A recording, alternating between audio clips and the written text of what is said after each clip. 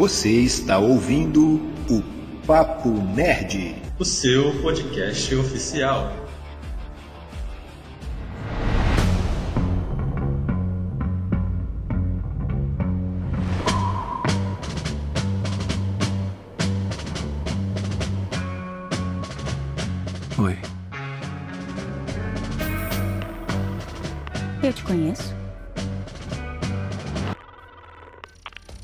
Salve nerds! Ei, geeks! Eu sou o Thiago Moura, PM, e o Neil tá na Matrix vivendo como John Wick. Oi, gente, eu sou a Larissa Pansani e, na minha opinião, o filme 4 vai ser a primeira parte de uma trilogia. E aí, pessoal, sou o Rafael Tardim, coordenador do projeto de extensão Cineclube Debates e TalmaCast. Para entrar na Matrix, é preciso sair da caverna. Fala galera, eu sou Igor Leão e será que Matrix 4 é a ressurreição dessa franquia? O nome já diz tudo, hein? Será? Será?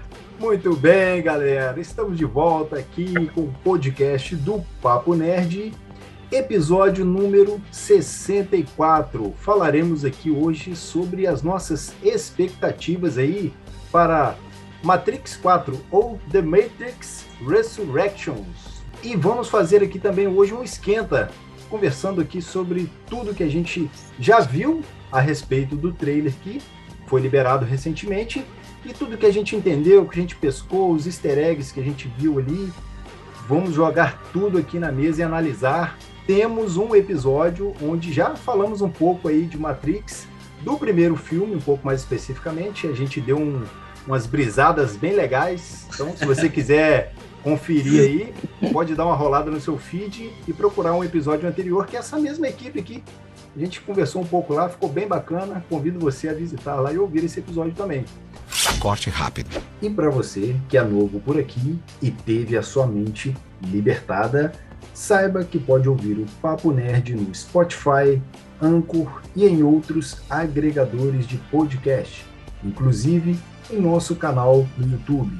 Então, se inscreva lá e aproveite para seguir as nossas redes sociais e interagir com a gente lá no Papo Nerd Oficial. E não saia daí, porque a gente já volta logo depois do nosso Mural! Muito bem, Thiago. Lembrando que IJ Liveiro é o patrocinador do mural do Papo Nerd. Então aproveitem e visitem o sebo virtual IJ Livreiro no Instagram. Lá você encontra livros de todos os gêneros, novos e usados, além de kits e sagas, a preços bem acessíveis. Além da venda, o sebo virtual também faz a troca ou compra de livros usados. O pagamento pode ser feito através do PagSeguro, boleto bancário, depósito bancário ou ainda à vista para quem é daqui de Itaperuna. O frete é sempre a combinar. Então visite o perfil do IJ Livreiro e confira o nosso acervo. Escolha o seu exemplar e faça o seu pedido pela DM. E vamos aos patrocinadores do podcast Papo Nerd. Código Kid Itaperuna e Gestão ProMais. A Código Kid Itaperuna é a primeira escola tecnológica especializada em programação de jogos e youtuber, com foco no desenvolvimento do raciocínio lógico e da criatividade, visando o preparo dessa galerinha para encarar os desafios da tecnologia. A gestão ProMais possui cursos profissionalizantes voltados para jovens e adultos que desejam se preparar para o mercado de trabalho ou aperfeiçoar suas capacitações. A sede fica em Itaperuna, no edifício Milênio Centro, Rua Rui Barbosa, número 383, próximo ao Hospital São José do Havaí. O horário de funcionamento é de segunda a sexta, de meio-dia às 18 horas. E para quem é ouvinte do podcast, tem o cupom Papo Nerd para conseguir 15% de desconto na escolha do seu curso. Aproveite para seguir os perfis lá no Instagram, código kid.itaperuna e gestão Promais e pegar as dicas e conteúdos postados diariamente. Medieval Burger. A Medieval Burger está sempre pronta para a batalha com os melhores e mais deliciosos hambúrgueres artesanais da região. Verdade! Visite um de seus reinos em Muriaé, Bom Jesus ou aqui em Itaperuna, na rua Platão Boechat, número 468, no bairro Lions. O funcionamento é de terça-feira a domingo, das 18h30 às 23h30. Você pode fazer o pedido e retirar na loja ou optar pelo delivery com a taxa de entrega e o pedido mínimo de 12 reais. É só baixar o app Medieval Burger na Play Store e fazer o seu cadastro. Faça também o pedido pelo WhatsApp, os números estão na bio deles. Siga o perfil deles no Instagram e consulte o cardápio online. Lembrando que todo mês tem o burguês do mês e toda semana tem a quarta medieval. Só acompanhar pelo Instagram a Medieval Burger. Elite Dogs Gourmet. A Elite Dogs tem os melhores hot dogs da região no estilo gourmet. Possui um cardápio diversificado e totalmente baseado nas séries que mais amamos acompanhar. Para quem é de Itaperuna e quer visitar a lanchonete, é só conferir na rua Benedito Nicolau, no bairro São Mateus. Lembrando que o delivery possui uma taxa de entrega e o pedido mínimo é de R$ 9,00, podendo ser feito pelo site ou pelo WhatsApp 22 99787 7948 ou ainda clicando na bio deles. Para acompanhar todas as promoções da semana, é só seguir a Elite Dogs Gourmet no Instagram e conferir o cardápio baseado na sua série favorita. KNN Idiomas. A KNN Idiomas garante sua fluência em dois anos de curso, com alunos a partir de quatro anos de idade em inglês, espanhol, francês e alemão.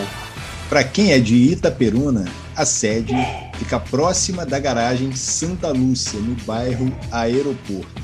Lembrando que as aulas presenciais estão liberadas para todas as idades e respeitando todas as normas de segurança da prefeitura. E para quem não é de Itaperuna, tem as aulas no modo ao vivo, com métodos exclusivos para quem fala português e com foco em conversação. Assim também como preparatório de interpretação de texto para concursos vestibulares e exame internacional.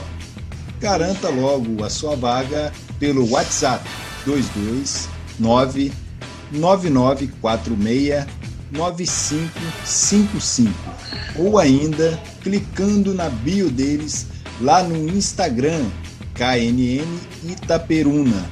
Aproveite e use o nosso cupom Papo Nerd e garanta 30, eu disse 30% de desconto em qualquer curso.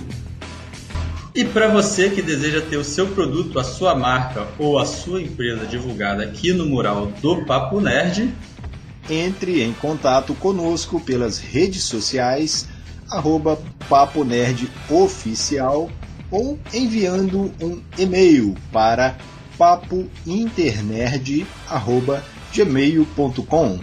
Mande uma mensagem e vamos conversar.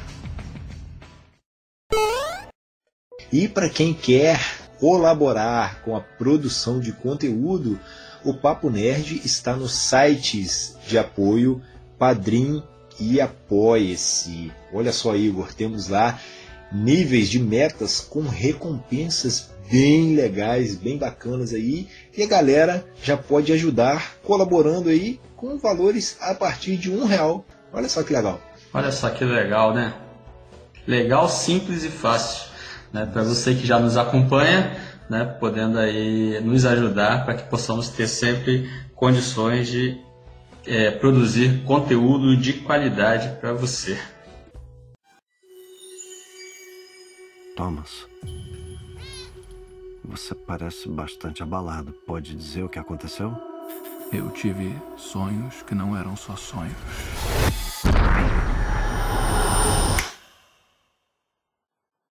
Eu tô louco. Não usamos essa palavra aqui.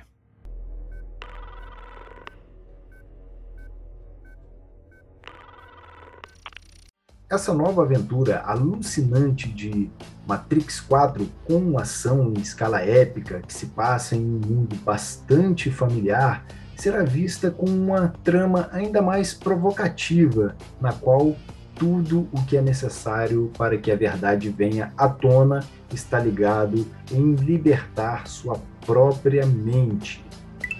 E é isso, galera. Bloco aberto aqui, vamos conversar sobre o trailer que saiu de Matrix 4 e eu já começo dizendo que esse trailer ele tem assim muita coisa diferente do que a gente estava acostumado, principalmente com o Matrix 1, porque o que eu já citei de cara foram tons de cores mais fortes, diferente daquele esverdeado que a gente tinha lá no Matrix 1. Então eu já vejo que muita coisa nisso aí vai ser meio que uma ressuscitada na franquia, mas vai ser também uma forma de renovar isso tudo aí dentro da trama. Bom, de imediato, é, a, gente dá, a gente consegue ver, né, que algo aconteceu e eles não se lembram, né, do, do, do que eles passaram, né, dentro da Matrix. É, tem até a cena do, do psicólogo, né, é, e aí ele, ele trata como memória, só que ele, ele, ele não lembra de, de ter vivido aquilo, né, no caso o Neil. Então eu acho que o que a gente pode esperar é, de repente, um. Não sei, as minhas apostas, né? Assim como eu, como eu brisei também vendo o, o trailer de Homem-Aranha.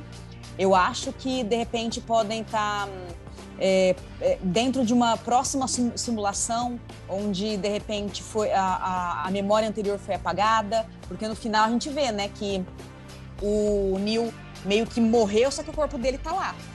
Então a gente, no, no, no caso, no, no final do filme 3. Então, de repente, podem ter usado é, o cérebro dele como um, não sei, um chip em branco. Chip não, né? Porque hoje em dia a gente nem fala mais chip, né? Isso era nos anos 2000. Mas, de repente, ter deletado todas as memórias, deixado só um, é, um drive lá, né, com, com algumas coisas para ele, eles se lembrarem aleatoriamente. Só que os acontecimentos mesmo é como se eles não tivessem vivido, né? Então eu acho que pode de repente ter uma nova simulação, um novo programa, é, e aí a minha aposta também para o começo de uma trilogia, né?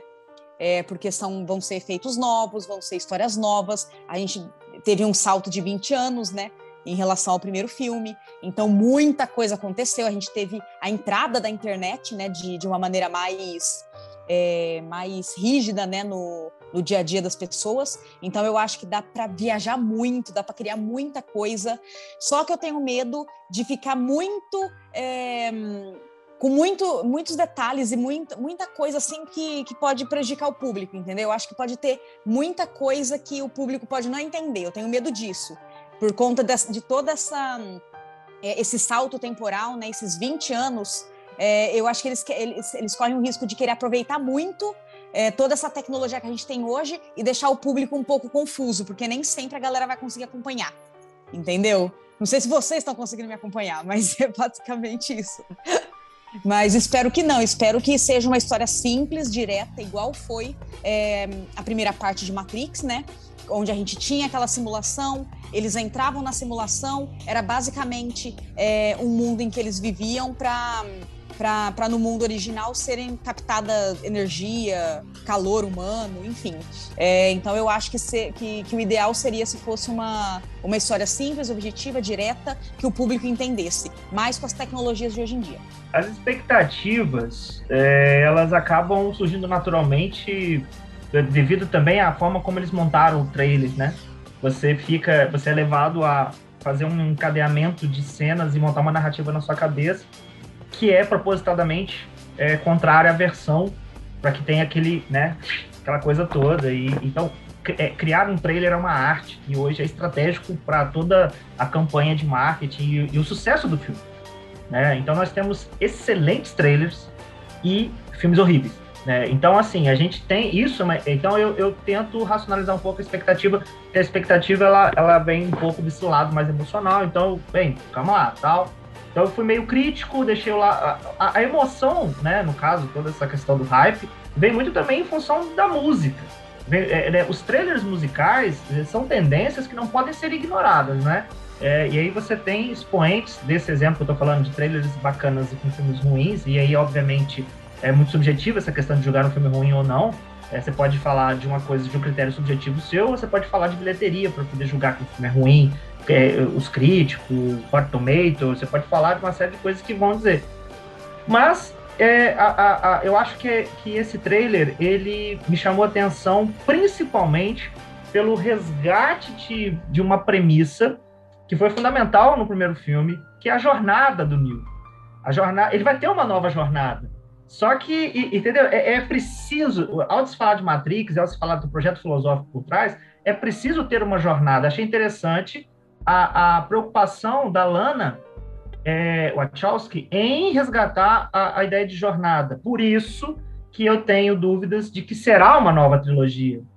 É, porque para você montar uma jornada, um plot de jornada, você precisa então pensar, ele vai, é, como é que é essa, essa nova jornada do, do Neil. É quem é o vilão, o que ele precisa descobrir e aonde ele quer chegar e como é que vai ser o finale disso, o grande finale disso, definitivo. Eu não, não acredito que eles vão fazer uma trilogia, duas trilogias, três trilogias. Acho que não, porque Matrix, é, por mais que esteja de olho na questão financeira, é uma obra, uma franquia que, como eu disse na, brin na brincadeira da frase inicial, que foi né, até uma frase solta pelo bolsista do nosso projeto do TalmaCast na live de segunda, é, para você realmente entender alguns aspectos de Matrix, você precisa sair da caixinha, você precisa sair do senso comum, você precisa sair de uma série de sombras ali da caverna que te impedem de ver.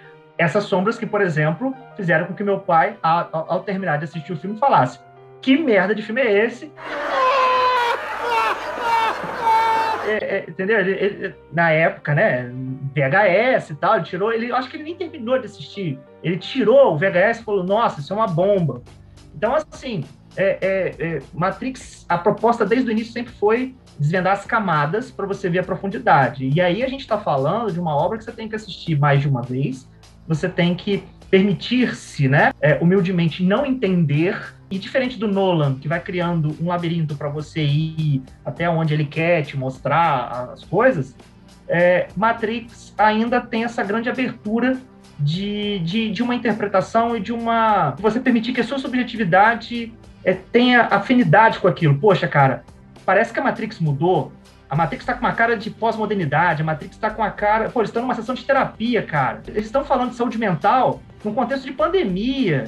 É um filme que vai falar, pílulas azuis brotam. Tem certas cenas que são assim, né? Que eu acredito que eles vão, né, é, é, em termos de pauta, em termos de, de temas abordar, que é, vai pegar também um lado da galera de hoje, vai pegar um pouco do estado de espírito da galera de hoje, né? Eu acho que pelo trailer não acho que eles vão beber apenas da nostalgia. Tudo bem, tem cenas clássicas ali que são lembradas, né? E aí você tem vários, Jurassic World fez isso, né? Ah, a trilha, aquela coisa toda e tal, que resgatou um pouco dessas coisas nostálgicas. Mas eu acho que Matrix não vai beber na nostalgia. Eu acho que vai ser é realmente um, uma, nova, uma nova forma de se pensar todas as questões, mas me chamou muita atenção isso.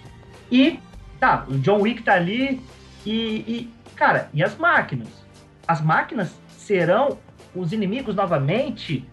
É, qual será o plot? É, pô, entende? For... Será que não vai ser uma forçação de barra, uma nova trilogia? Talvez não seja um filme para, sei lá, não sei, entende? Assim, eu estou com, com certas indagações aí. Assim, para falar, para falar do trailer, cara, eu vou dizer que é, a, primeira, a primeira coisa que a gente sente realmente é a nostalgia, né? A alegria de rever né, esse universo que marcou história, marcou nossas vidas, marcou né, uma época. Né, mudou toda essa questão dos efeitos né, no cinema e tal. É, e, e, e, é legal você, você ver eles trazendo de novo, né? Só que 20 anos depois, né? A gente não sabe quanto tempo se passou ali dentro, né, nesse universo, mas a gente sabe que é, passou-se um bom tempo. E esteticamente, pelo trailer, a gente vê que há grandes mudanças, embora não tantas que modifiquem todo o universo, né? Então a gente tem ali o bem o Thiago falou das cores, né? É, tem algumas questões ali estéticas que são novidades, né? Que são coisas novas, que são muito atuais, mas que nos remetem sempre, né? À estética anterior. Os debates, eu estou curioso para saber quais serão os debates, né? Dentro de, desse desse novo desse novo filme, porque Matrix um gerou muito, muitos questionamentos em várias áreas, né? Apesar de ter um salto aí de 20 anos, né? 21 anos, é, mais ou menos, eu acho, acho que são 21 anos, esse debate continua ainda muito e muito mais forte, né? A questão da, da, da vida virtual, da simulação, né? Da, da, realidade, o que é, o que não é realidade, né? É, como que, que, que, você vive em torno disso tudo, né? E aí é, abrange é, questões desde a filosofia, religião e sociedade, política, economia, comportamento e tudo mais. Agora, é legal ver que é, eu, pelo menos, acredito, olhando assim o, o, trailer, não sei também se vai haver uma trilogia, nem sei se é necessário também. Eu acho que também é meio que um reboot, né? Apesar de pegar um, um, o, o, final da, da, da, do Revolution, né, o último, né? A gente percebe que é, eles vão usar isso para um reboot na história, né? A gente vê ali no trailer algumas cenas que são muito semelhantes às cenas de, né, dos filmes anteriores, é, mas a própria temática do, do, do, filme permite isso, né? Já que são simulações, a gente vê na, na trilogia passada é, o, o arquiteto falando que já estava na sexta versão. Então, a possibilidade de versões e versões né, dessa simulação. Eu quero ver o que, que vai acontecer com essa história toda. A gente, a gente entende pelo trailer, né, como o, o Rafael falou, que a gente monta, tenta montar ali uma, né, uma timeline certinha do que está acontecendo.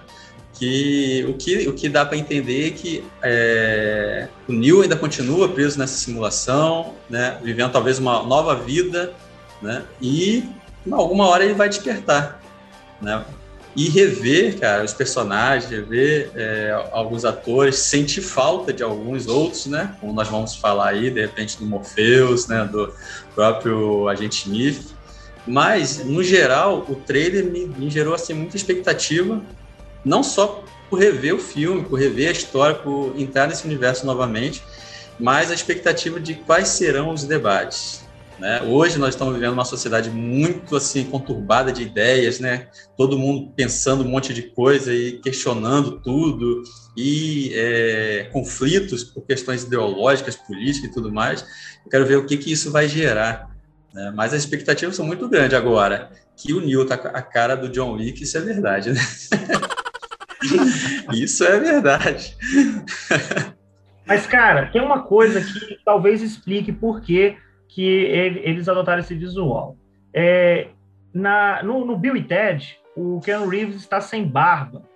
Uhum. E o pessoal falou que estava meio estranho, porque é, sem barba deixou mais evidente a. Bem, eu não assisti o Bill e Ted, é o comentário que eu vi da galera. É que, que, que a, a, a, tirar a barba ressaltou como ele envelheceu. E a barba deu uma segurada nesse aspecto de envelhecimento. Em compensação, se você pegar New, estética, e agora, realmente é o John Wick tentando fazer ali uma pontinha, porque é o Neil, cara lisa, cabelinho e tal, tudo de preto, e agora você tem um cara cabeludo, barbudo, vai na contramão do cabelo curto e da cara. então, ah, assim, é importante pensar como eles vão dar uma, uma lógica a isso. Porque no meio digital é possível você não envelhecer. E aí, se ele uhum. está na Matrix, ele envelheceu na Matrix, ah, é uma nova vida. E aí ele vai se lembrar, tá, então em algum momento ele vai quando ele se lembrar, voltar a ter, ou, a, duvido muito. Então, assim, eu, eu acho que eles vão não vão ignorar isso, eles vão dar um sentido, vão dar uma, uma versão para isso. A Carrie Ann Moss também tá, né? As pessoas envelhecem, né, gente? É. Tem jeito, né? Dá para pensar que se, se ele ainda tá preso na, na Matrix e ele está vivendo uma nova simulação que eles talvez descaracterizassem ele justamente para não remeter à história que ele viveu, trazer alguma lembrança, né, por algum, sei lá, algum déjà vu, né? Então a, a mudança que dá para perceber também que ele não é mais aquele hacker que o Thomas Anderson era, né?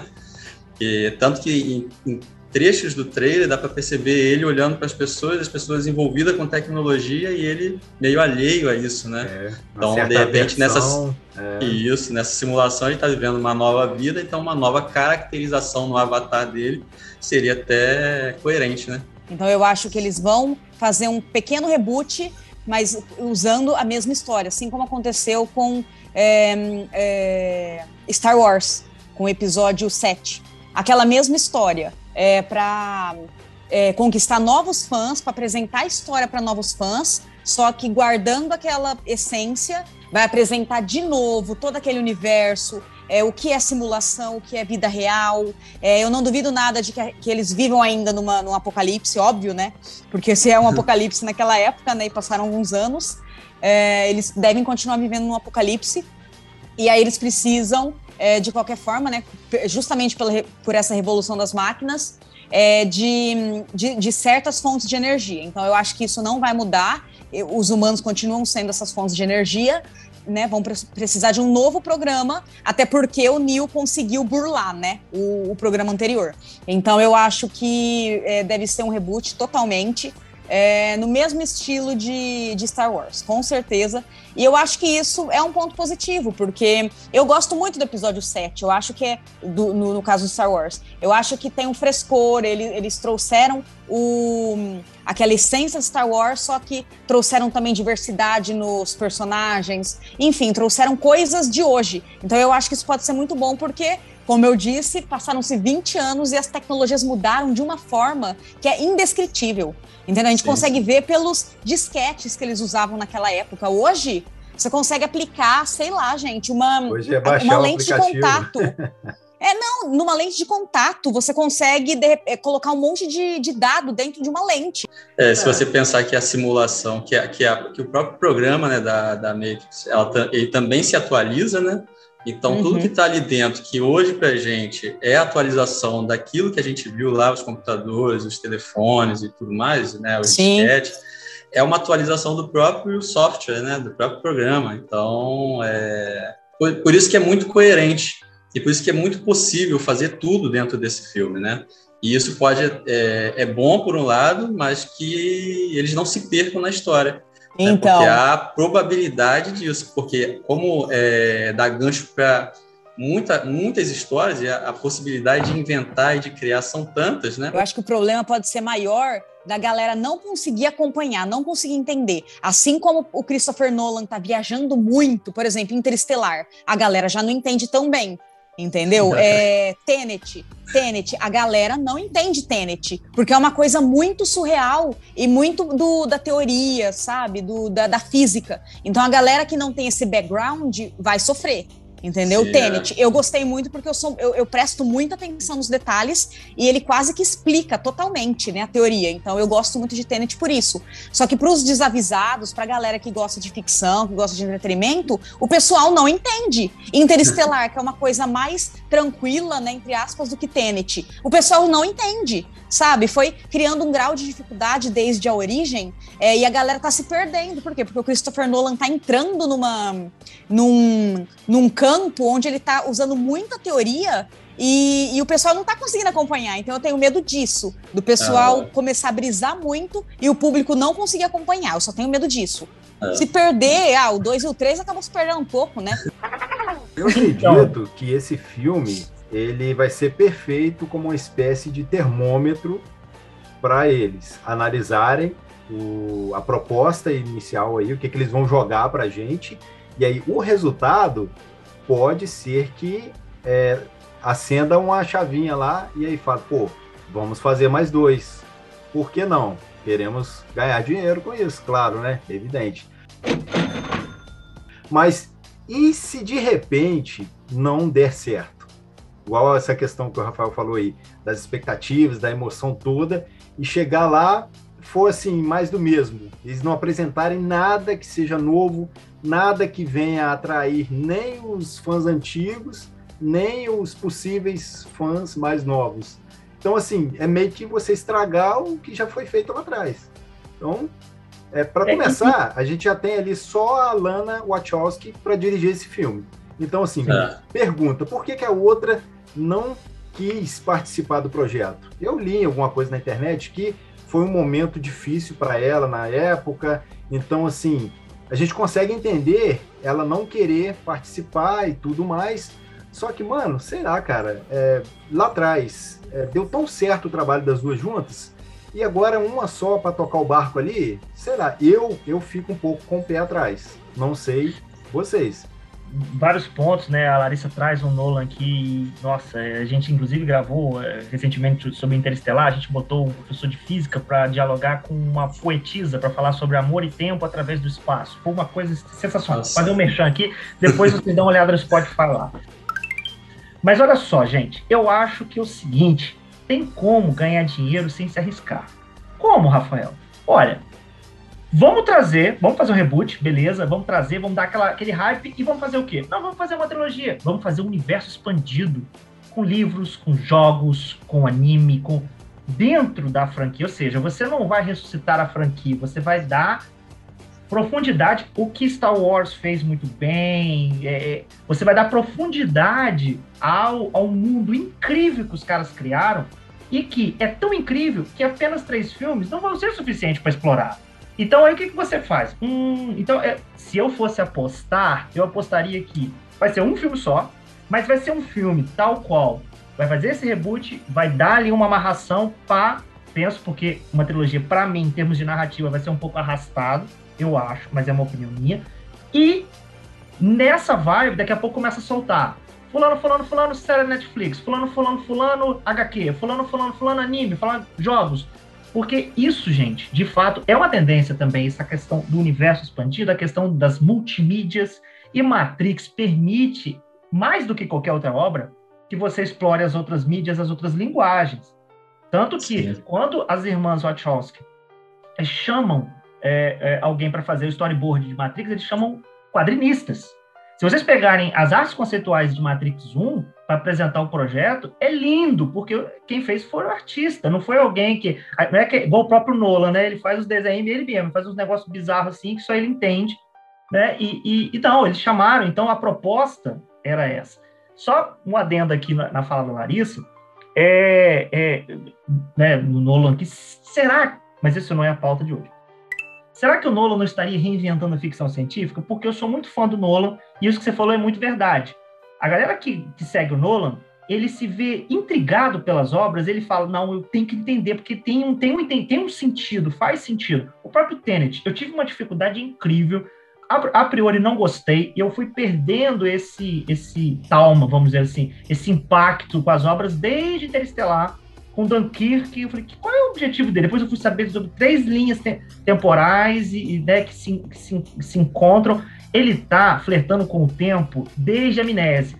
E aí, Tenet é a obra-prima dele de tempo. Aí eu tava ouvindo, estudando, vou assistir de novo, de novo, de novo, de novo. Aí eu fui, eu fui começando a ver, caramba, tem coisa, tem coisa aqui, tem coisa aqui. Ou seja, realmente, quem vai assistir um filme de entretenimento ou quem vai se intrigar, vai se decepcionar. Mas quem acompanha o rapaz vai falar, cara, esse cara é um gênio. Esse cara, ele parece louco, ele parece insano, porque ele é técnico. Pô, o cara chamou o Kip Thorne para ser o assessor dele em Interestelar. Tem cena dele numa sala da faculdade, o Kip Thorne, aquela, aquele quadro de giz com as equações, foi o Kip Thorne que escreveu aquilo. Aquilo é real, aquelas equações, né? Obviamente, na narrativa tem outro sentido.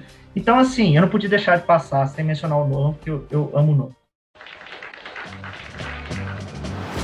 One pill makes you larger, and one pill makes you small. And the ones that mother gives you do. Go.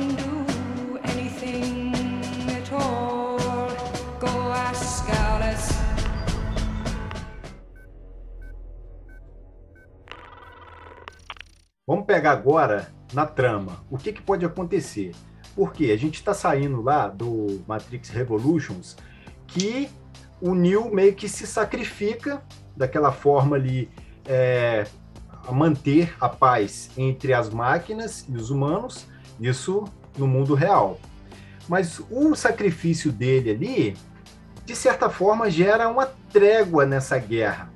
E aí, depois, quando a Matrix é reescrita lá, que aí vem a Oráculo, a Sati, o Seraph, todos eles de volta, o arquiteto aparece e aí ele fala, ó, esse joguinho seu foi perigoso, você acha que vai durar isso aí quanto tempo?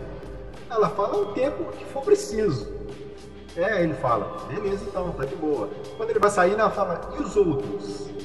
Aí ele fala, quais outros? É, os que querem se libertar. Aí ele fala, obviamente serão libertados. Ela tem sua palavra? Ele fala, você acha que eu sou humano? Mano, isso aí deu um gancho naquela época enorme, cara. Então hoje eles têm um leque de possibilidades para trabalhar em cima disso aí, que é uma coisa surreal. Aí aquela garotinha lá, que é um programa muito, acho que voltada para alguma coisa assim relacionada ao amor, ela cria aquele pôr do sol, que é aquela cor quente, né, com uma parada bem diferente do que tinha já na, na naqueles é, filmes anteriores, que é para dar aquela renovada em tudo. E ela pergunta: será que a gente vai ver o Neo de novo? A Oráculo. Eu desconfio que sim.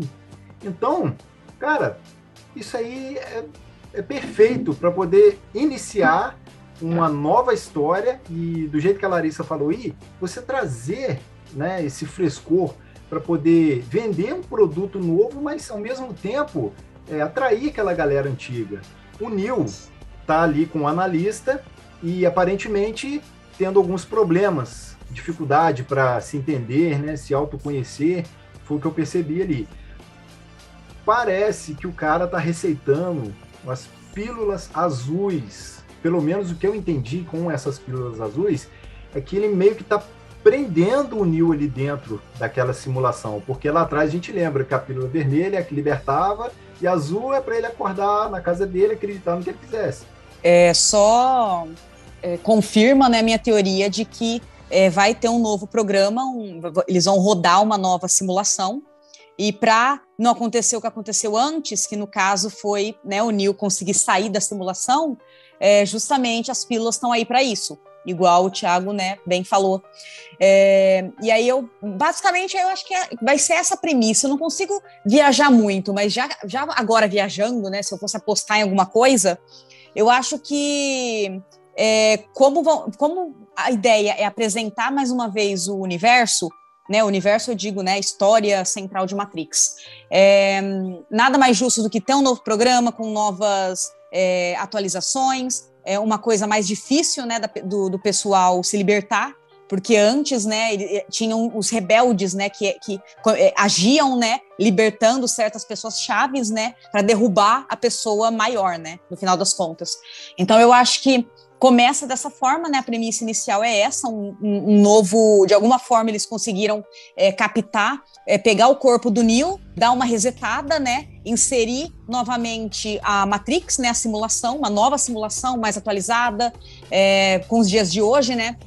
Não sei como fica o lance é, do avatar dele, mas eu acho que ia dar um trabalhão se é, em, é, rejuvenescessem ele, tipo, o filme inteiro. Eu acho que não é o caso, pode ser, não sei. É, mas eu acho que, que não. Não sei se, se, se, Ia ser muita grana, gente, muita grana. Eu tô pensando aqui, tipo, pra, pra eles Vamos deixarem deixar isso um segredo. O cabeludo mesmo, É. né, Rafael? Não, tipo, tudo bem. Ia, ia, ia ser uma coisa muito legal. Tipo, a gente vê lá o, o Neil mais velho, né? é, quando. É, quando, por fora, né, da, é, fora da Matrix, e aí o avatar dele continua sendo aquele Neo que a gente conhece. É, mas daria uma, uma grana preta, mano, para eles com efeitos especiais, efeitos visuais, maquiagem. Eu acho que não é o caso. Então vão dar outra explicação para isso. Talvez justamente por não ter mais avatar, o avatar pode ser de repente uma outra pessoa. Não sei, gente. Aí é, é- é brisa demais, só assistindo o filme.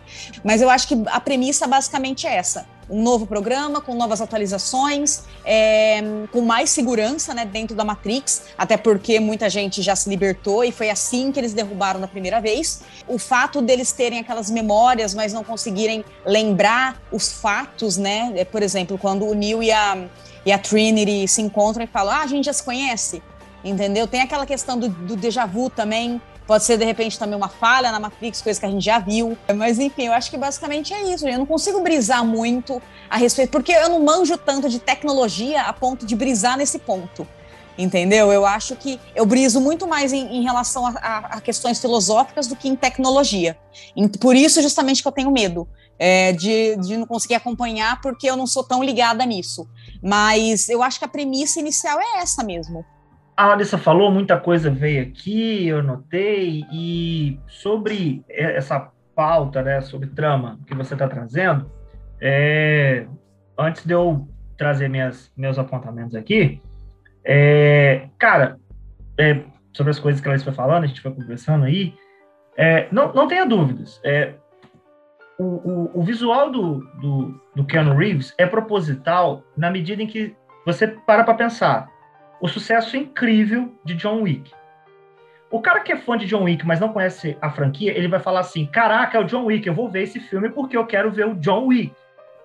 Ele vai. Ele, é, né, isso acontece, pessoal. A gente transfere pro ator um filme que o cara fez, se você curtiu o visual, pô, esse cara para mim é o John Wick, vai ser sempre o John Wick. Ah, esse cara. Ele vai fazer um filme. O nome do filme é Borboletas Românticas mas é o cara, a cara do cara. Não, eu vou assistir Borboletas Românticas porque naquele momento eu vou ver John Wick sendo romântico. Ou seja, vai haver uma transferência dessa galera que vai pagar ingresso.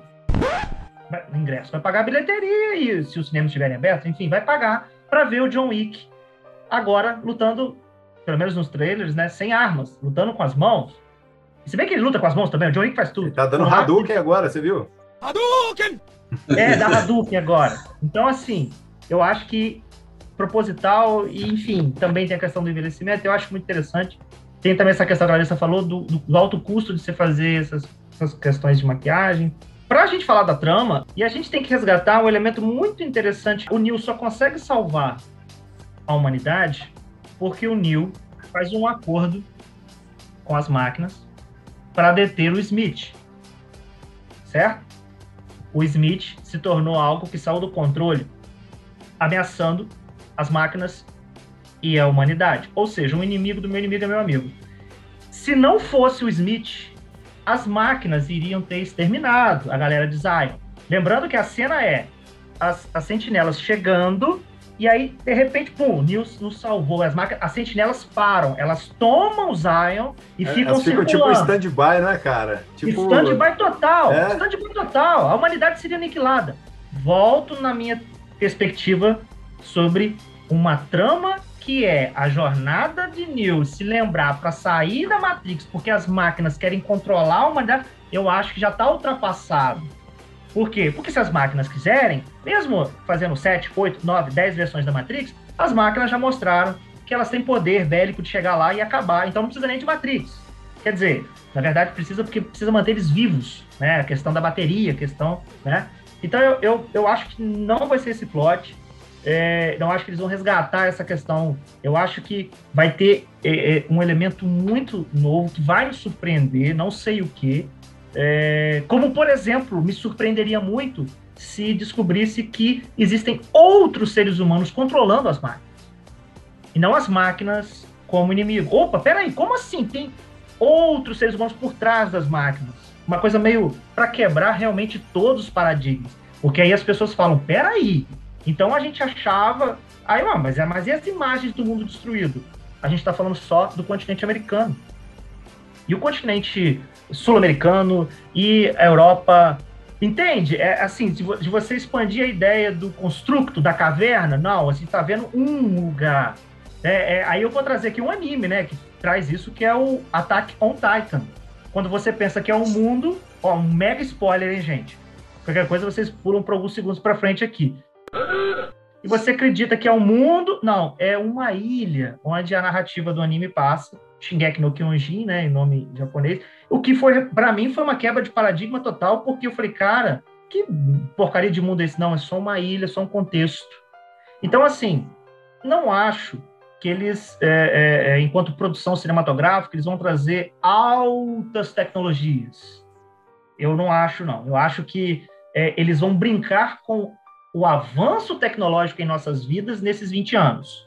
Instagram, smartphone, eles vão tocar nesse aspecto. Não é à toa que a cena do elevador é o Neo, aquele todo mundo conectado com o seu smartphone. Isso não tinha em 99.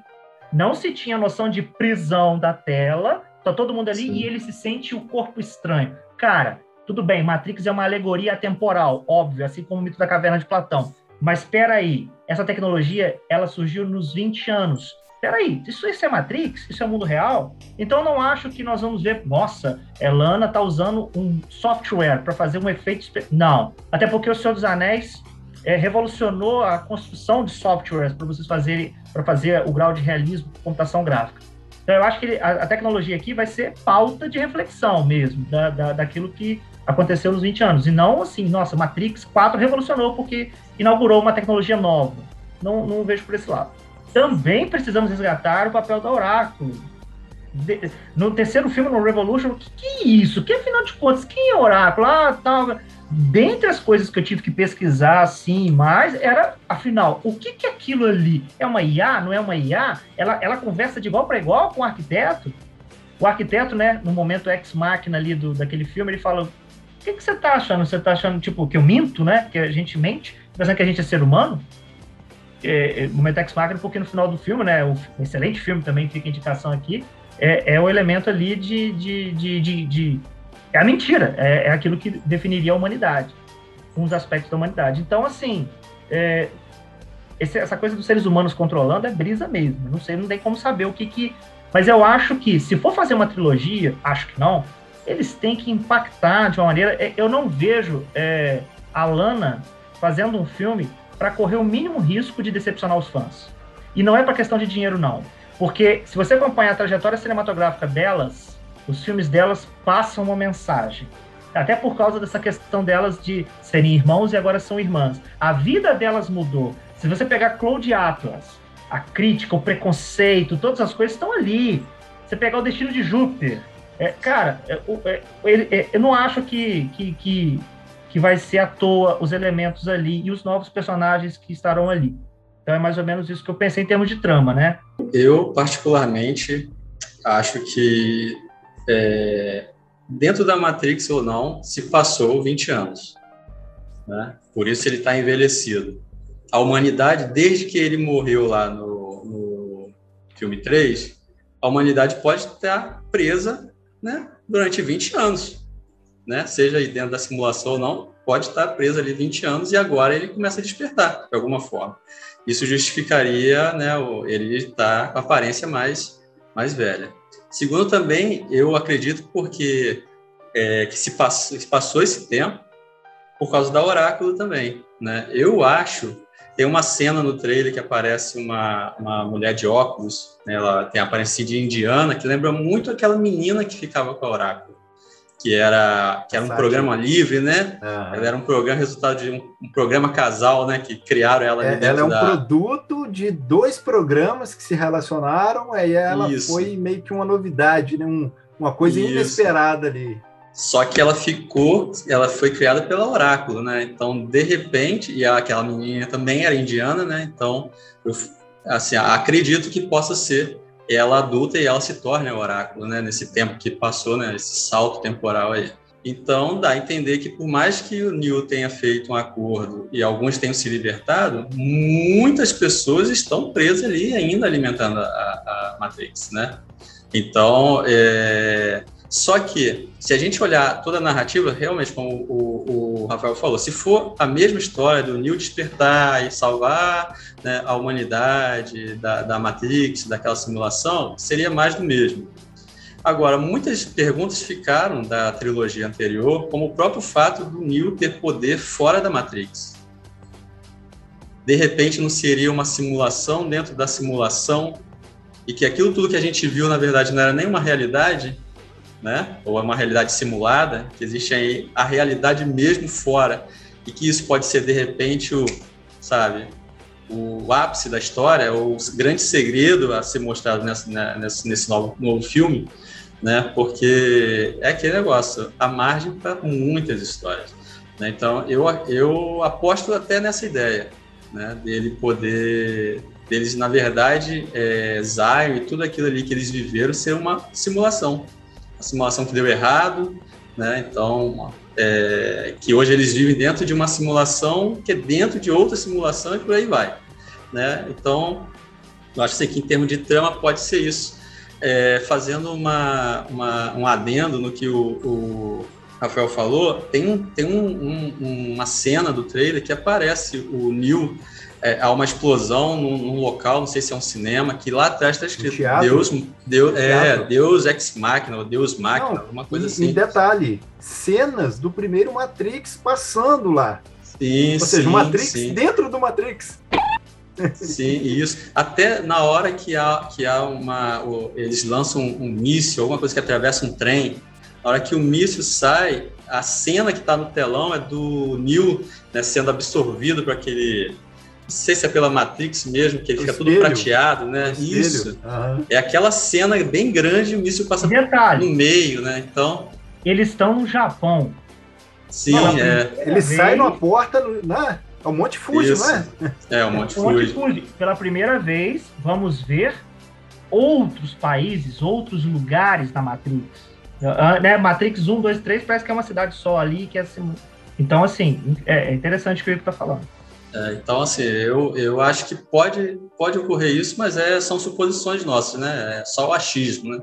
Não sei verdadeiramente no que vai acontecer. Agora, eu gostei, eu gosto muito porque é aquele negócio. Por mais que, se, por mais que possa ser uma nova história, a continuação, o encerramento de toda essa, essa, essa história, esse universo, ou a ampliação né, desse universo, é, eles mantiveram algumas questões, algumas características, como é, cenas com chuva, né, é, os- as próprias cenas de lutas, que aparentemente parece ser bastante, né, tiroteios e tudo mais, para poder usar até os efeitos especiais. né. Então, assim, é, em termos de, de enredo, de trama, eu acredito que seja uma simulação dentro de outra simulação, né, para que não ocorra a mesma história que a gente, que a gente viu. E é, acredito, assim, que teve esse salto temporal, que realmente eles viveram uma história dentro da simulação, né? Por isso toda essa evolução né, do, da, da simulação e por isso esse passar de tempo aparente na, na, na fisionomia deles, né? E que nós vimos no- nos, no- nos filmes anteriores que a Trinity morreu e ela aparece viva dentro da simulação e fora, porque tem cena dela acordando, né? Despertando. Como que ela estaria viva lá se não fosse o, se não fosse uma outra simulação, que ela morreu, então ela na verdade não morreu, né? Então assim, são muitas coisas que a gente tenta amarrar ali no trailer para formar uma trama, mas só assistindo, só esperando para ver o que, que isso vai dar, né? É, cenas do, do Neil apare- é, se olhando no espelho e tendo uma outra aparência, será que essa aparência que, que, que ele tem, o Neil, é só a gente que vê? Que dentro da simulação as pessoas veem ele de outra forma? Não sei, né? Fica aí a Então, especulação. Se vai trazer a questão do Neil perceber que aquela não é uma realidade, quer dizer, que tem algo errado com aquela realidade, você pressupõe que existe algo além da realidade e isso então seria o de fato verdadeiro. Então, temos uma dualidade. Sim. Ou é uma simulação dentro de uma simulação, ou voltamos à concepção antiga de, de Matrix e mundo real. Uhum. E aí, nesse caso, se a gente seguir para essa linha de Matrix e mundo real, as cenas dos corpos sendo plugados e tal, mundo real e Matrix. Então, Uhum. assim, realmente é, o, o trailer ele brinca com essa tentativa nossa de dar sentido à, à narrativa ali. E isso que você falou da camada entre camada, ah, o Nolan já fez isso em A Origem Sim. plenamente possível, né? Essa questão. Sim. Aí que tá. Vamos supor que. Momento brisa. Vamos supor que é, né, aquele mundo dominado pelas máquinas nada mais é do que uma é, outra simulação. E aí a camada mais profunda, ou a verdadeira camada disso tudo, são seres humanos controlando seres humanos. Seria uma quebra de paradigma, né? Seria realmente um fora da caverna que, cara, vou falar, pegaria fãs novos, que eu acho que os fãs novos vão falar assim, meu Deus, peraí, você que é fã velho, tá falando que tá pirando a cabeça, por quê? Eu vou olhar a trilogia antiga, eu vou montar esse quebra-cabeça. Seria uma grande jogada. Por isso que eu acho que a Lana não vai fazer uma coisa para ah, legal, nossa, emocionante, nostálgico. Ah, é só isso? Os fãs que, que curtem nostalgia querem mais. Eles, em 20 anos, amadureceram. E, e outra coisa, outros filmes aí fizeram cagada. A Larissa falou do Star Wars Episódio 7, mas o 8 e o 9 há de se discutir. E os fãs de Star Wars ficaram, muitos deles, né? Alguns gostaram, enfim, ficaram muito putos, a ponto de falar: ó, cuidado, não vou boicotar outros produtos de vocês. Então, assim, é, realmente dá para projetar muita coisa, isso dá um frio na barriga para a gente, afinal de contas, saber né, o que, que vai acontecer, e isso que faz de uma obra ser interessante, né? Permitir que esses momentos aconteçam. Eu queria perguntar, por- porque tem aquele, aquela questão de que se você morre na Matrix, você morre na vida real, né? Como que eles explicariam, entendeu? Porque, mano, como que vai voltar? Entendeu? Tipo, e, e eu quero, eu tô, eu- óbvio que eles vão saber como explicar, né? Eles não vão trazer os personagens de volta sem saber explicar. Mas eu tô curiosa pra saber como que eles vão explicar isso. No Porque, tipo, trailer, morreu, o, morreu, né? o trailer, o corpo do News, né? É, isso aí, obviamente, eu vi uma galera que pausou e fez aquela análise toda interessante. Frame a coisa- frame. frame a frame, e vivem disso, né? Não sei quantas mil visualizações lá e tal. É, é o corpo do Neo cego e as Sim. máquinas fazendo ajuda. É o corpo do Neo. É o corpo, aquele Uhum. corpo. É o corpo do cara. Aí ele morreu, não morreu? O corpo, pô, existe um corpo? Existe uma mente, existe uma mente controlada, enfim. É, por isso que eu falo pra vocês, eles podem querer dar uma, uma inovada, mas tem elementos canônicos que não vão mexer, não, senão é besteira. Sim. Não, mas eu acho que essa questão também do, do Neo ter poderes fora da Matrix, eu- é por ser uma ponta que não ficou explicada muito bem lá atrás, eles vão trazer de volta para poder explicar. Pode ser. Então eu acho que já é uma coisa que todo mundo fala, mano, mas não ficou bem explicado, sabe? Então é o momento perfeito deles trazerem e, principalmente é, fazer o gancho, entendeu? Pro, pro, pra, pra essa nova. Pra esse novo universo. Não sabemos se vai ser trilogia, se vai ser universo expandido. Mas eu acho que com certeza isso vai ser explicado. E o lance também da morte, né? Sim, Eu lembro na época perfeito. que, que, que eu tava assistindo e quando ele, ele, ele, ele fora da Matrix ele manifesta poder, aquilo pra mim foi tipo um, um balde de água fria. Eu não gostei daquilo. Uhum. Eu falei, não, peraí, cara. Você simplesmente no final do filme mostra ele parando na sentinela. Você vai ter que reinventar a relação, porque Uhum. não dias. Igual. Acontece, foi a mesma coisa que aconteceu com a Ray saindo da família do Palpatine. Exatamente. Mesma, É, mesma, sensa...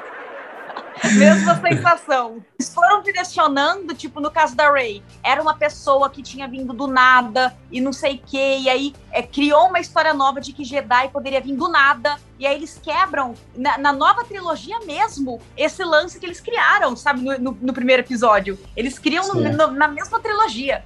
Isso também foi, foi quebrado em- em- na, na trilogia de Matrix. Isso tudo aí, vocês é, ressaltaram aqui, é muito, muito importante, dá margem realmente para uma boa discussão, porque, primeiramente, a simulação dentro da simulação. Vamos voltar lá no Matrix Reloaded, onde o arquiteto ele sempre fazia um acordo com os escolhidos. Porque o escolhido é uma coisa que sai do controle dele. O que, que acontece? Parece que o código dele é, quando fica livre na Matrix, não interfere muita coisa, mas aí quando ele vai começando a se agrupar e ao, ao ponto de gerar né, e se manifestar em uma pessoa, é onde dá trabalho para o arquiteto. Aí o que, que ele faz? Ele faz aquele acordo, entre aspas, com o escolhido e fala: agora você vai é, voltar para Zion, libertar X homens, X mulheres, e vai pegar o seu código e reinserir ele na Matrix e distribuir ele, ou seja, vai dar um reset em tudo que acontece. Nessa situação, o Neo, por estar apaixonado pela Trinity, não faz o que era né, previsto com as versões anteriores, né, os escolhidos anteriores.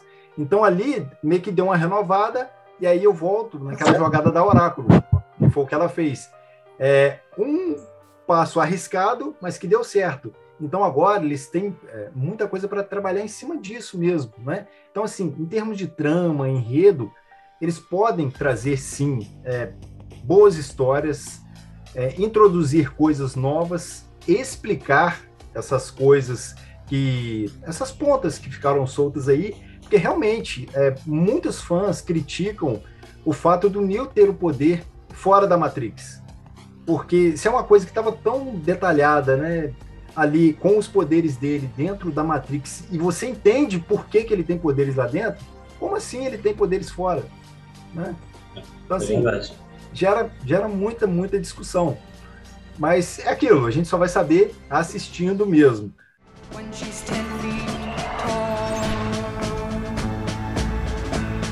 Hora de voar.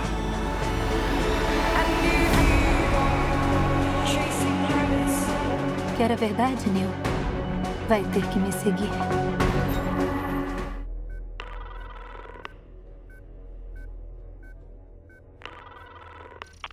Agora eu acho que a gente pode tocar aqui um pouco nos easter eggs. Vamos falar aqui do que, que a gente pegou assim, pescando, assistindo ali.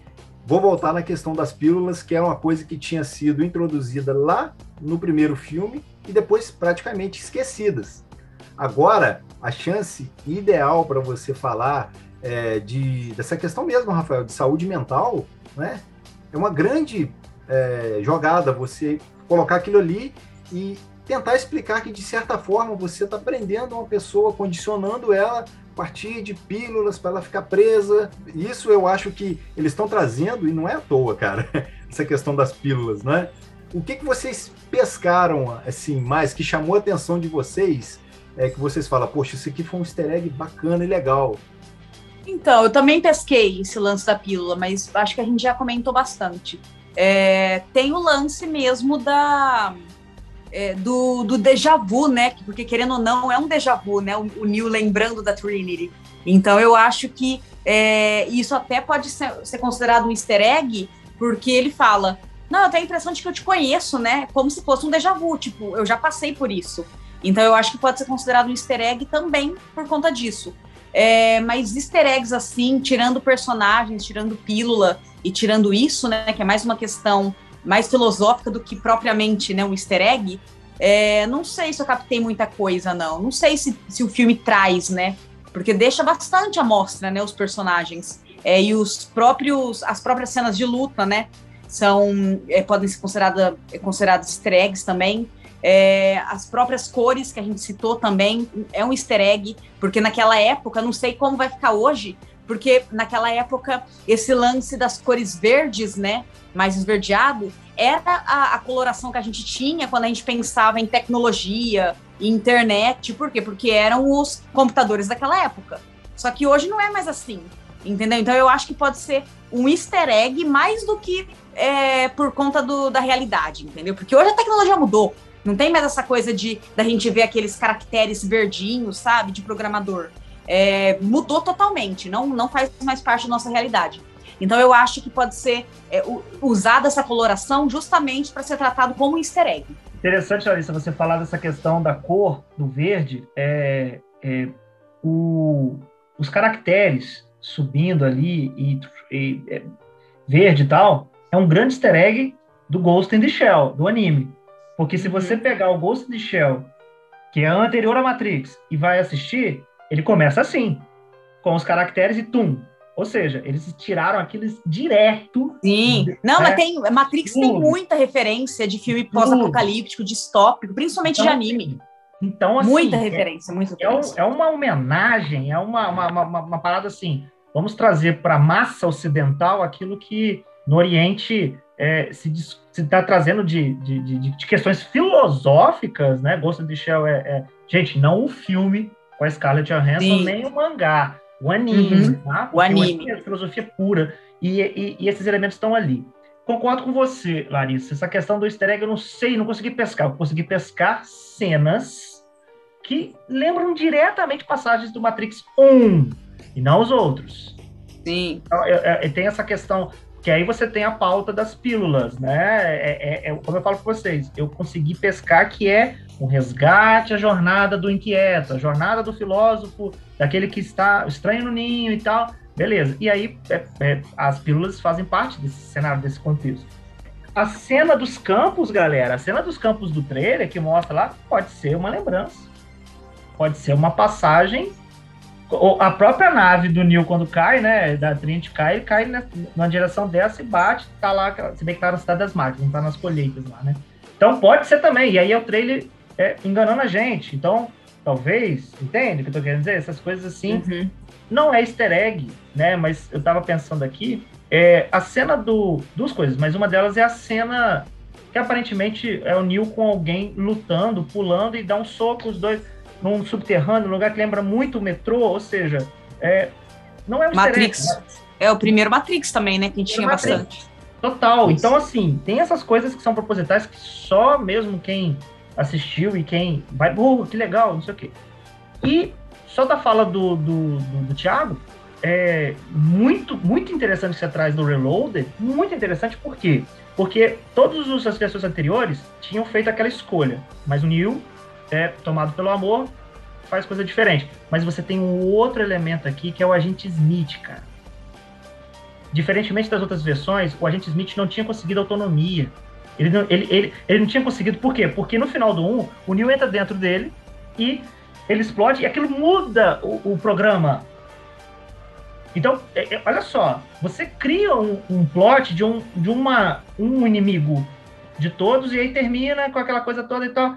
Se o agente Smith quebrou a, a, a ordem é, da, da coisa, né? O que, que vai quebrar agora? Porque então, beleza, a humanidade foi salva, mas as máquinas podem entrar lá e matar a qualquer momento. Mas não vão fazer isso, vão fazer uma nova colônia, aquela coisa toda.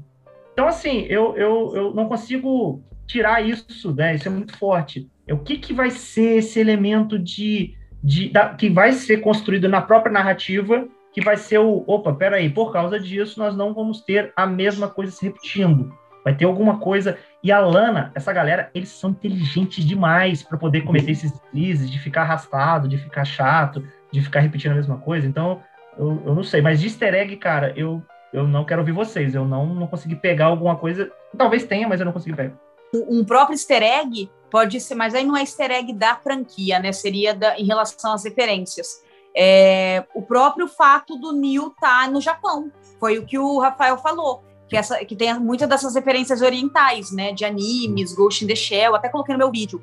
É, e a gente não tinha visto isso, porque, por exemplo, quando a gente assiste Blade Runner, tem muita referência oriental, principalmente 2049. E a gente sabe que os animes e é, mangás são muito famosos por trazer essas, essas histórias distópicas. Então eu acho que, na verdade, não é bem um easter egg, mas eu queria de- pontuar aqui que pode ser uma, uma referência, entendeu? Principalmente como a gente viu em relação aos caracteres e tudo mais. Acho que pode ser o, o fato dele estar no Japão, ou é Japão mesmo? É algum lugar É da Japão, é Ásia. Japão, Japão mesmo. mesmo, né? É.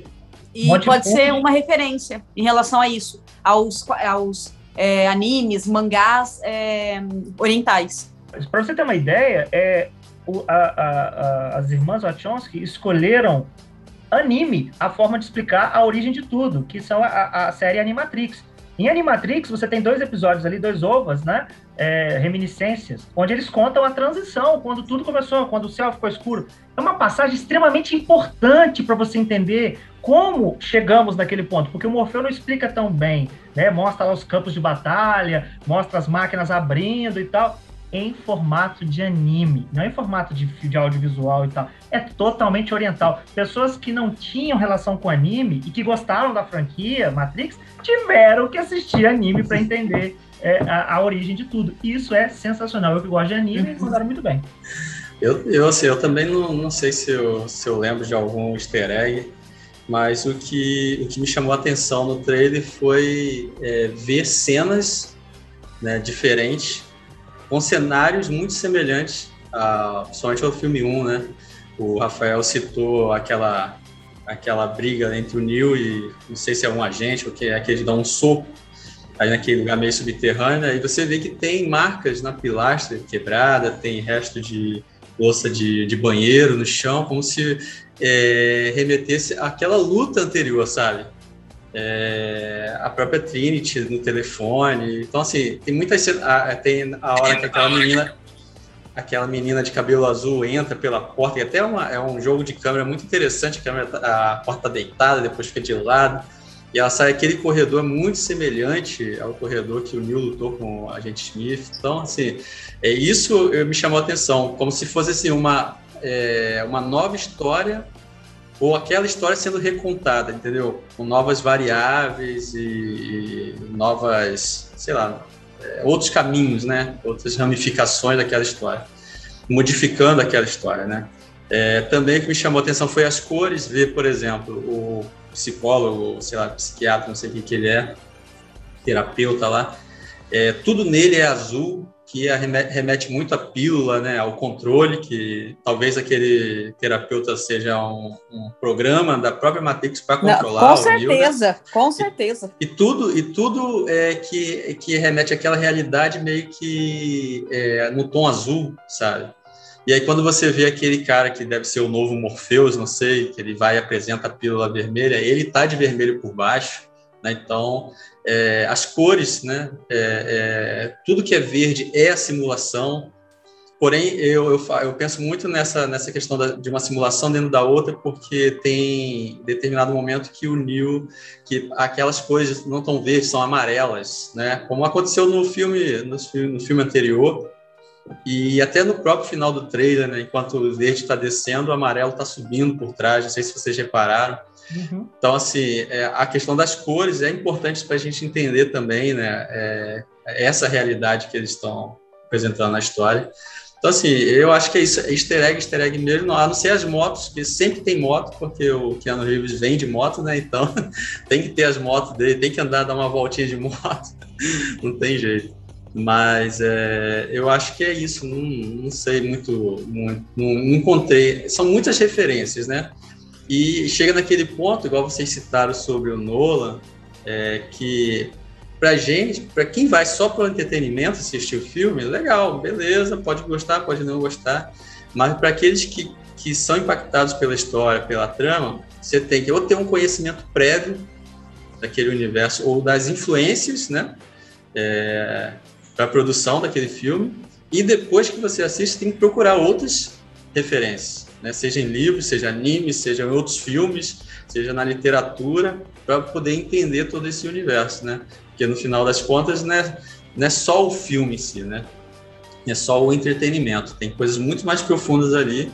E isso acontece, por exemplo, quando eu vou assistir um filme do Nolan, como já aconteceu, de procurar quais são as referências, o que, que ele está lendo, né? o que, que ele está vendo para poder ele produzir um filme desse. A mesma coisa acontece com, com Matrix, né? Tem que ir lá ler Baudrillard, né, simulações de simulacro, tem que assistir, é, tem que assistir o Ghost in the Shell para poder entender, né, chegar num ponto de entender e assistir várias vezes, né? Então é, é isso. Eu não, não sei, não sei dizer outros outros Easter eggs, mas eu acho que assim o trailer ele é pequeno, né? Durante o filme a gente vai ver muita coisa, falar ah lá, é do outro filme, é lá, é da sabe, referência de tal coisa. E eu acho que isso vai acontecer quando a gente for assistir o filme todo. Um easter egg que vocês não perceberam é o gato preto, gente. Tá lá, pô, o gato preto. é o déjà vu, né?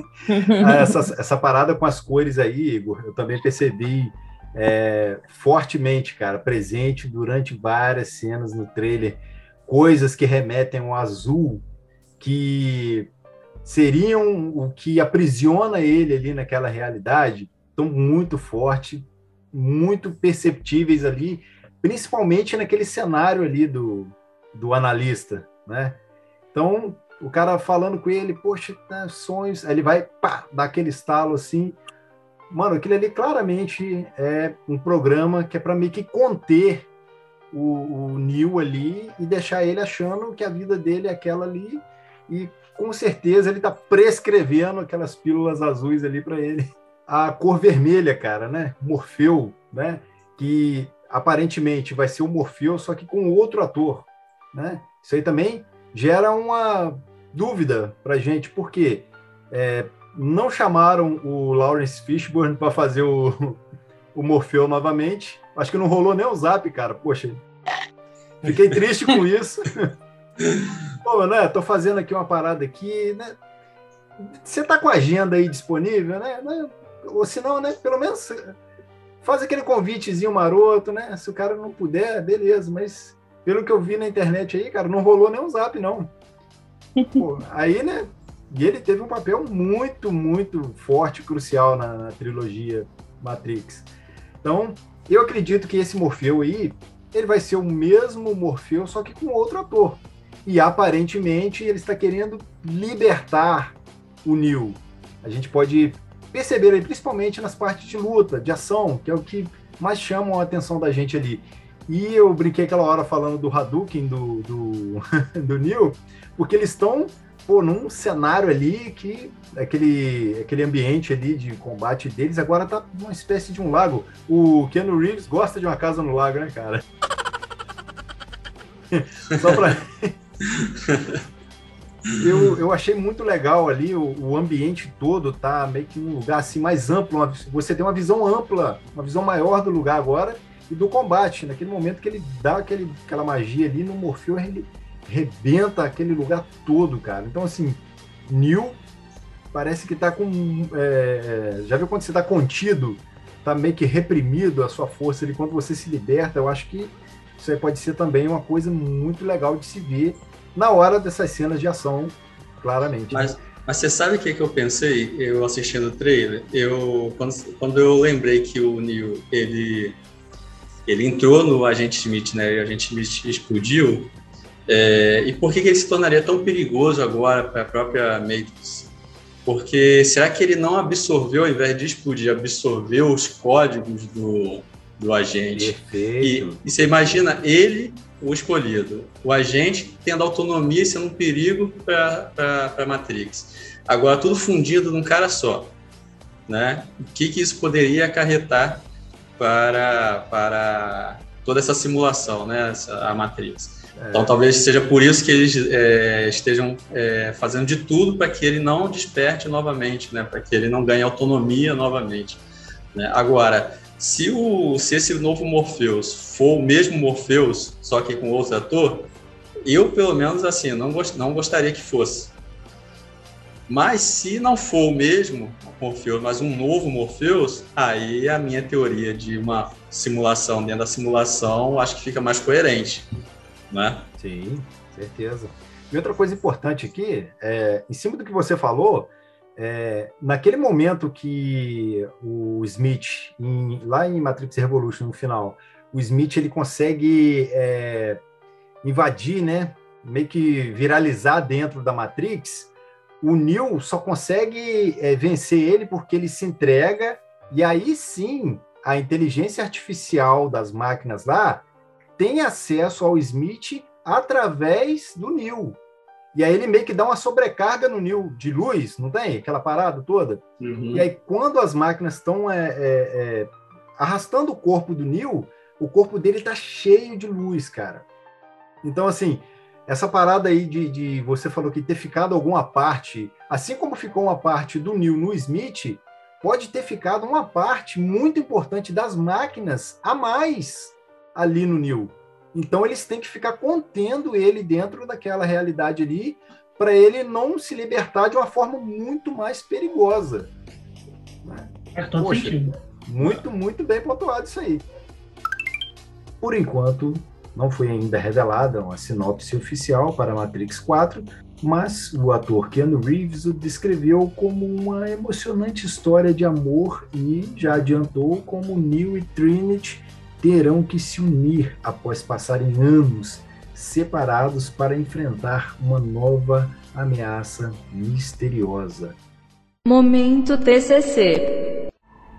Depois de tantos anos, vamos voltar para onde tudo começou. Voltar para Matrix.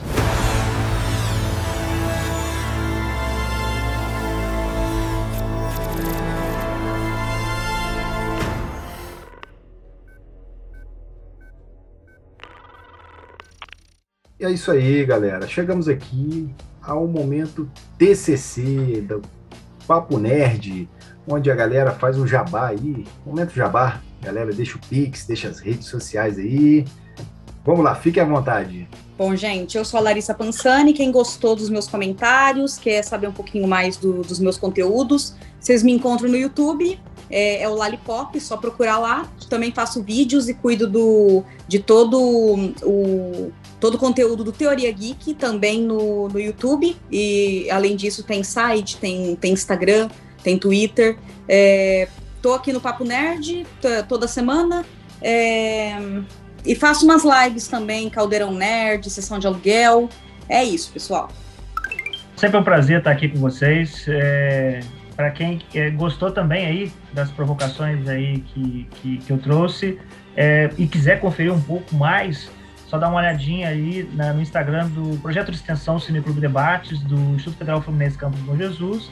E agora, nosso podcast, o TalmaCast, é, trazendo também aí algumas pautas interessantes dentro dessa metodologia nossa, com o- esse projeto né, de extensão desse ano, que é o TalmaCast, que é um podcast que emula toda a metodologia desenvolvida em seis anos de projeto no Spotify, mas também no Instagram com alguns é, quadros e subprojetos também, como curadoria coletiva, que a gente teve a participação é, especial sua, e a gente aguarda o Igor também, e a Larissa também, que fica o convite para depois estar com a gente lá trazendo suas indicações e sugestões. É isso, gente. Sempre é um prazer. Foi um prazer imenso rever vocês. E é isso. Muito bem, galera, valeu, né, porque, por ter nos escutado, né, ouvido aqui o nosso episódio até o final, né, é, foi, foi um papo muito gostoso, embora um papo que não se encerra, né, gente fica aí na expectativa do filme para voltarmos a conversar mais né, sobre, sobre o tema. É, para quem quiser conversar comigo, pode me procurar lá no Instagram, né, Igor J. Leão, ou livro, caneta e café. Aproveite, compre meu livro, Infinito, Palavras do Tempo da Morte e da Vida, lá na Amazon. Tá? É, podem procurar lá. Se quiser conversar comigo, tô aqui no Papo Nerd ou nas minhas redes sociais. Larissa, valeu rever você. Rafael, grande abraço. Tenho escutado lá o TalmaCast, muito bom. Parabéns pela iniciativa. E Tiagão, estamos de volta, né? Depois de muito tempo, cara. Voltei. Isso então, aí. é isso aí. Valeu, galera. Mestre Igor estava um pouco sumido. Estudando muito. É. Mas é isso aí, galera. Muito, muito obrigado a vocês todos aqui dessa banca. Foi um papo surreal, muito legal especular, teorizar. Larissa, tamo junto. Toda semana, tamo aí. Né? Teoria Geek, nosso parceiraço. Rafael, muito obrigado, cara. Valeu mesmo por essa conversa aqui, por essas teorias, essas brisadas nossas aqui. Sempre bom. Muito obrigado a você que está ouvindo. Aproveite para seguir o Papo Nerd em todas as redes sociais e essa galera aqui que está aqui na banca. Os links de todos estarão aqui no post, beleza? E vamos finalizando mais um podcast aqui do Papo Nerd, episódio número 64, onde conversamos, teorizamos bastante sobre o que a gente espera, o que a gente viu desse trailer aí, e seguimos é, ansiosos, empolgados aqui para o final desse ano e torcendo aí para que a gente consiga assistir né, de uma forma segura nos cinemas, porque eu confesso que eu adoraria voltar a assistir nos cinemas com esse filme, né, Matrix 4. Para dúvidas, críticas, comentários e sugestões, vocês já sabem, podem mandar um e-mail para papointernet@gmail.com. Eu sou o Thiago Moura, TM. Até mais e obrigado pelos peixes. Vamos lá, vou colocar aqui para gravar. Beleza. Uhum. Frase de início, todo mundo já pensou?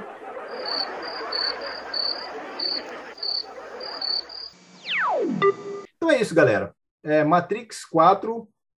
Peraí, deixa eu só, porque hoje eu não fiz a cola, não tive tempo de fazer a cola hoje, cara. Quero preparar tudo direitinho aqui. No- eu acho que o, o patinho, né? No, no- no caso, agora vai ser o patinho. O patinho no enquanto ele tá na banheira. Dessa vez vai ser o patinho na, na cabeça do Neo, que vai ser a falha na Matrix.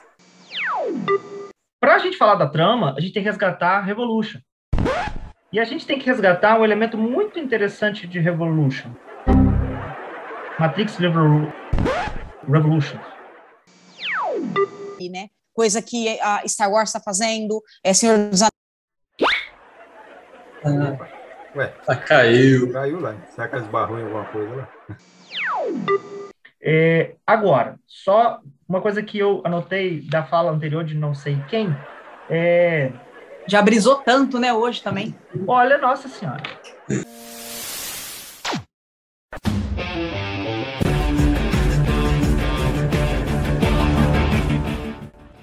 Este podcast foi editado por Thiago Moura TN.